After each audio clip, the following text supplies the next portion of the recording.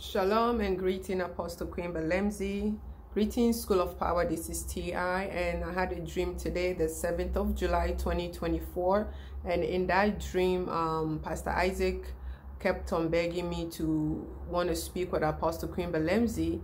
And uh, I was just going back and forth with him that I need to check with Queen if she wants to speak with him. And so that was just the dream. We were just going back and forth with him, just telling him I, I gotta check with her and then he was like you know get me to her get me on the phone like just ways to speak with her.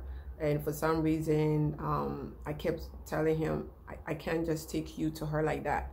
You know I need to check with her first. So that was the dream that I had today. Thank you. Bye